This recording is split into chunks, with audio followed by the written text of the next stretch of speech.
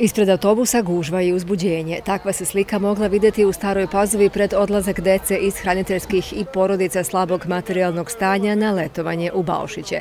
Za neke je to prvi odlazak na more, a neki već imaju iskustvo iz prethodne godine i mnogo su se radovali ponovnom odlasku. Bila sam prošle godine i jako je lepo i mnogo sam uzbuđena što sad idem.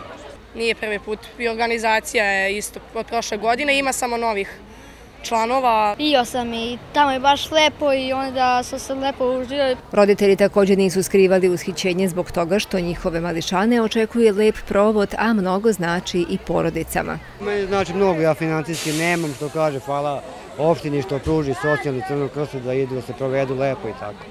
Da li je to prvi put da vaše dete odlazi? Pa dru, drugi put idem. Ovo je već treća godina kako Centra za socijalni rad u saradnji sa Crvenim krstom, a uz podršku opštine Stara Pazova, organizuje letovanje. Meni je posebno zadovoljstvo što mogu da se zahvalim Skupštini opštine Stara Pazova, sponsorima, Crvenom krstu i ministarstvo koje finansira decu iz hraniteljskih porodica, što su omogućili da i ove godine deca osete i uživaju na moru u svojim aktivnostima. Odmaralište Crvenog krsta Srbije u Baušićima u koje su otišli ima kapacitet 300 ležajeva. To je jedna ozbiljno odmaralište gde je obezbeđeno kako smeštaj sam sa svim ovaj, higijenskim uslovima, tako isto i lekarska ovaj, ordinacija, postoji 24 sata dežurna, tu su i spasioci, ovaj, tu su takođe i obuka plivanja, ovaj, nastavnici koji ovaj, vrše obuku plivanja. Odmor, zabava, uživanje u plavetnilu mora, savladavanje novih veština i desetodnevno druženje,